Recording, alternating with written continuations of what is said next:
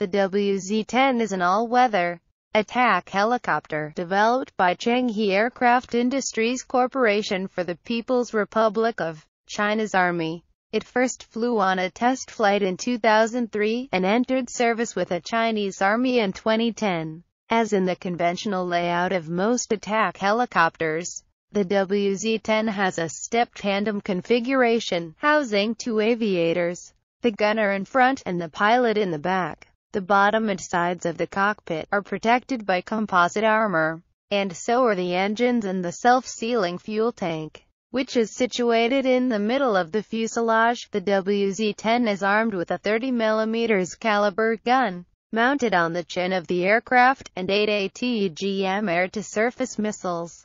This Chinese helicopter is fitted with a millimeter wave fire control radar, which is fully solid-state and fully digitized, weighing 69.5 kilograms, less than half of similar former Soviet system. The CAIC WZ-10 is powered by two WZ-9 turboshaft engines, each delivering 1,285 horsepower. This power plant allows the WZ-10 to reach the maximum speed of 350 km per hour. The main rotor is mounted in the midsection of the fuselage, and is composed of a total of five blades.